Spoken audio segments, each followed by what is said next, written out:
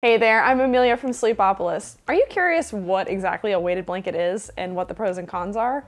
Well, a weighted blanket is basically what it sounds like. It's a heavy blanket. Many are filled with glass beads or plastic pellets to make the blanket heavy.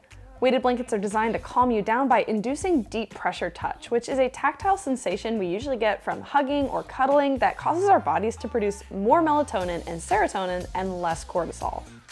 The benefits? Weighted blankets can reduce anxiety, help you calm down as you're falling asleep, and they can provide a comforting pressure that feels like a hug. The cons? They tend to trap heat because they are so heavy, and many aren't machine washable.